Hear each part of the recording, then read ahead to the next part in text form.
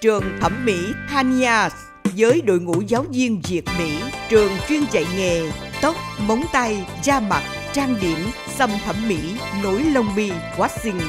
Trường có lớp dạy thi riêng cho học sinh thi nhiều lần không đậu. Nhận trang điểm cho cô dâu, đám hỏi, dạ tiệc, sinh nhật dân dân.